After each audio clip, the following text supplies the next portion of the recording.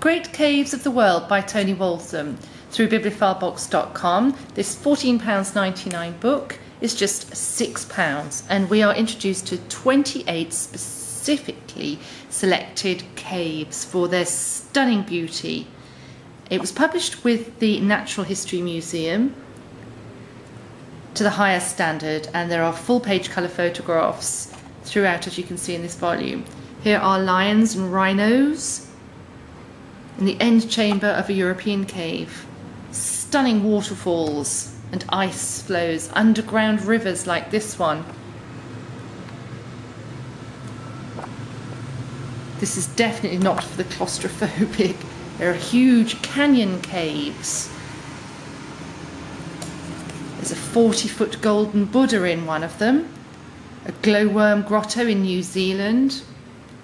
These caves are in Iran.